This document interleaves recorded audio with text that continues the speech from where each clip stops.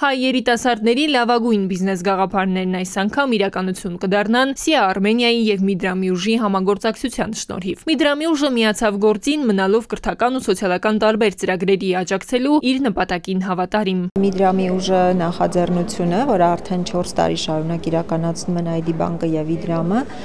հատուկ կարևորություն է տալիս կրթական ծրագրերին եւ կրթական նախաձեռնություններին։ Ծրագրի կենտրոնում իհարկե սոցիալական խնդիրների լուծումն է, բայց կրթությունը առանցքային է մեզ համար։ Եվ Սիան կարծես թե լավագույնս համատեղում է այս երկու գաղափարը, որովհետև կրթության միջոցով, կրթություն տալով երիտասարդներին մենք կարողանում ենք լուծել սոցիալական խնդիրներ։ Առաջնահերթությունները նույնն էին, դա էր պատճառը, որ գործը նախաձեռնողները հեշտությամբ գտան օգնող աջակցող կողմին։ Շատ արագ հասկացանք, որ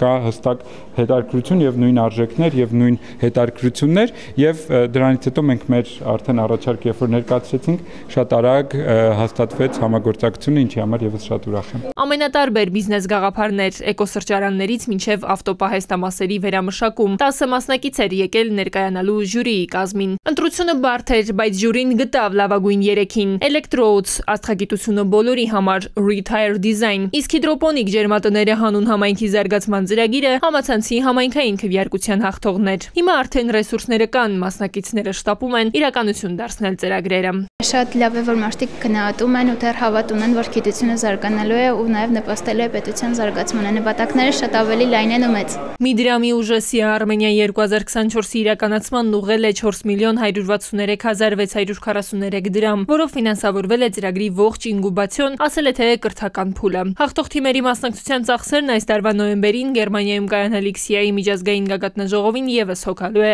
ID բանկը։ Տիգրանույն Գուրգինյան, Վահան Գուլոյան, ժամը լրատվական։